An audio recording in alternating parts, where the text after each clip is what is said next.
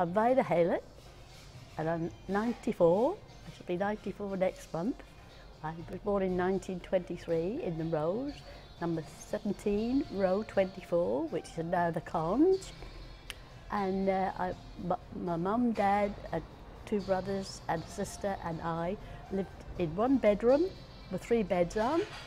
And uh, they were lovely memories. We played out till eight, up eight.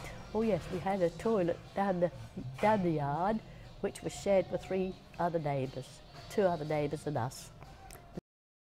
Mum, mum to get some extra uh, food pens, mum made toffee apples, uh, one on a stick for eightpenny and two on a stick for a penny.